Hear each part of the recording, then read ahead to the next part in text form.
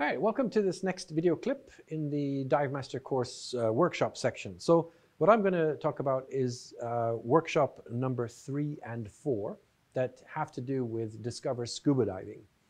And so I come here in my instructor manual, I'm going to go to the workshops and here I go. There's the heading for it and specifically it's number three and four that I'm interested in. So number three um, is the one that is discover scuba diving in confined water.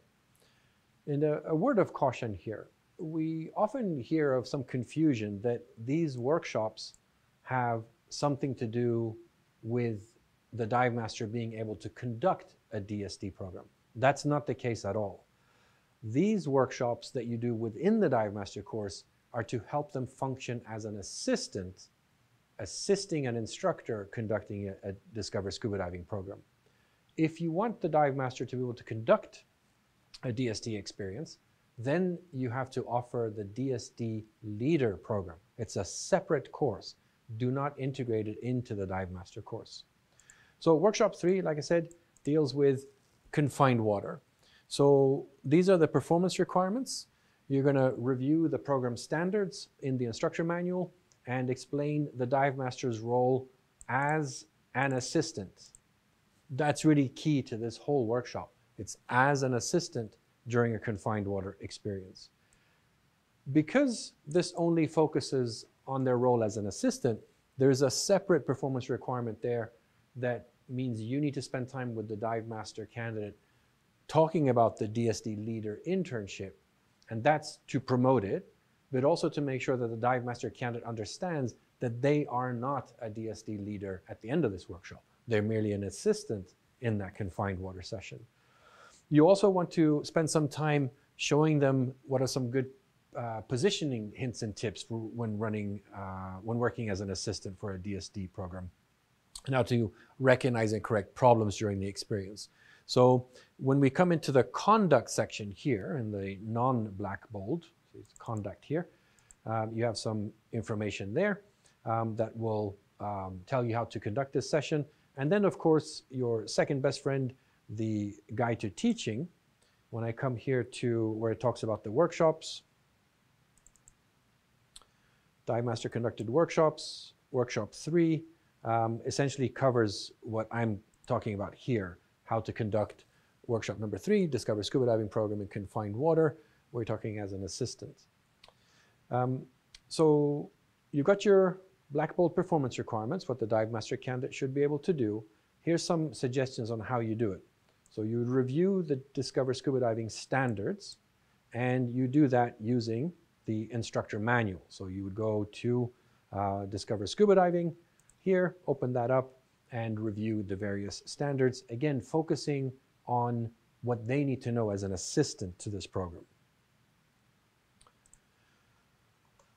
And then after you do that, you then have a, um, a, a, warning for your dive master candidates, and that's when you're going to go through the DSD leader internship requirements and discuss how they could qualify as one after the dive master course. Black Bold, only certified PADI dive masters qualify to take part in the DSD internship training. So do not involve your dive master candidates in this. Again, spending some time letting you know it's not a good thing to do. And then to finish off that workshop, you're going to conduct a role model confined water session. And this is really where you want to get some other divers, certified divers, or other dive master candidates if you have several, and you want to go in the, in the pool and conduct a DSD experience in confined water, focusing on what they're doing as assistants in this program.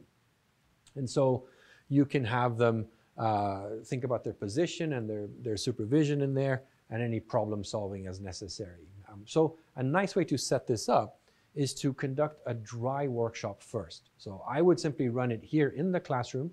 I would make two, three people stand up, and then I would demonstrate how I could control the group uh, by uh, positioning myself in front of them. I'm showing how I'm swimming on my back, sculling away from them.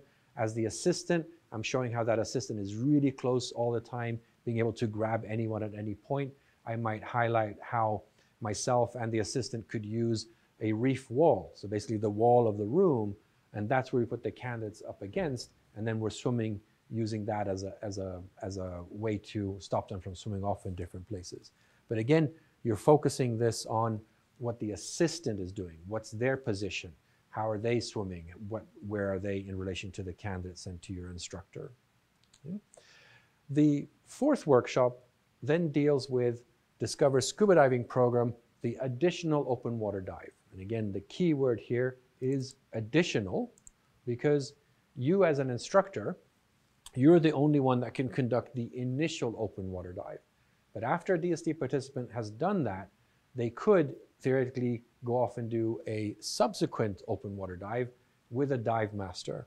And so you're going to do the same thing here. You're going to go back into the DSD uh, instructor guide, which we saw um, here, and you would review the uh, standards for that, um, and then you would let them uh, practice their briefings. You got your dive master slates to help with that for that additional open water dive. And again, you're going to um, have them demonstrate proper control and required supervision. So when you look at the conduct here, both in the instructor manual and going into the guide to teaching for workshop four, that additional dive, it gives you those kind of enhanced notes in there. And when you set this workshop up, you're going to go in the water with them and you're going to have other certified divers or other dive master candidates play the role. And again, you're now letting them try to find the best place to supervise the DSD participants and so on. This is another one that I would spend some time in the classroom or on the beach before the dive, wherever, and do a dry workshop.